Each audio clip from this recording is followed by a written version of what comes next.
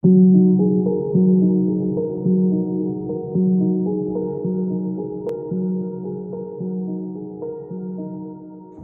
to lie on your back. Raise the legs up towards the ceiling. Press the palms down.